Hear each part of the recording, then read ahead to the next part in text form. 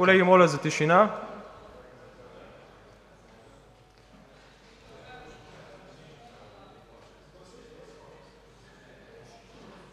Имате думата за процедура, господин Петров. Господин Председателстващ, тъй като трябва да се обърна към Вас, моля да бъда извинен от хората, които са се почувствали оскърбени, и да напомня, че аз сравнително рядко взимам думата тук, защото смятам, че времето на българския парламент е ценно.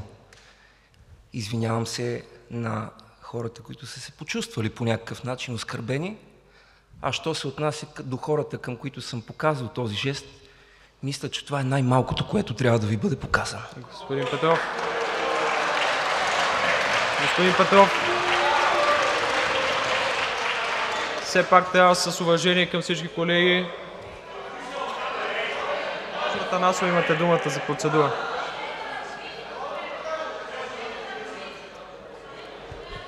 Господин Председател, първо, считам, че неправилно наложихте наказанието „забележка“, но пък имате повод след процедурата на господин Петров да му наложите наказание „порицание“ или направо отстраняване от пленарната зала.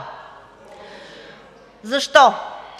Защото, ако господин Петров не осъзнава, че този жест не е насочен просто към група народни представители, а е насочен към над 600 хиляди български граждани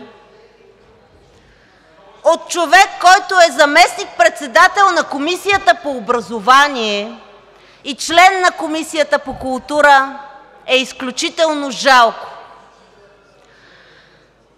Господин Минчев, председател на Народното събрание, обръщам се към Вас, защото имам доста по-голямо уважение, отколкото към заелия в момента поста господин Иванов.